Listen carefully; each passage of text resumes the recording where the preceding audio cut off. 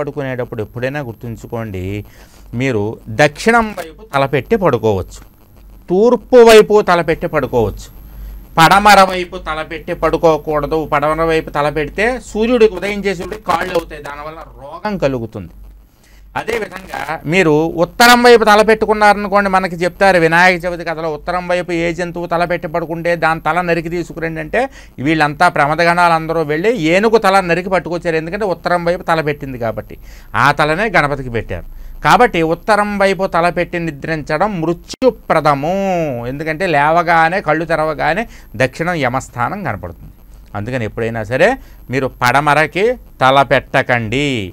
ఉత్తరానికి తల పెట్టకండి కావాలంటే దక్షిణం వైపు తలపెట్టి పడుకోవచ్చు తూర్పు వైపు తలపెట్టి పడుకోవచ్చు. జాగ్రత్తగా చూసుకోండి అమ్మా. ఎందుకంటే చాలామంది అనుకుంటారు మేము చేసామనే చేస్తున్నామండి రోగాలు తగ్గట్లేదండి బాబు. ఏం చేసినా కూడా రోగాలు తగ్గట్లేదు అంటూ ఉంటారు సార్ అలాంటి వాళ్ళు జాగ్రత్తగా అర్థం ఏంటంటే అలాంటి వాళ్ళు పడమర వైపు తలపెట్టి పడుకుంటున్నారని గుర్తు అందువల్లే రోగం వస్తుందన్నమాట. కాబట్టి కొంచెం చూసుకోండి అమ్మా. జయం.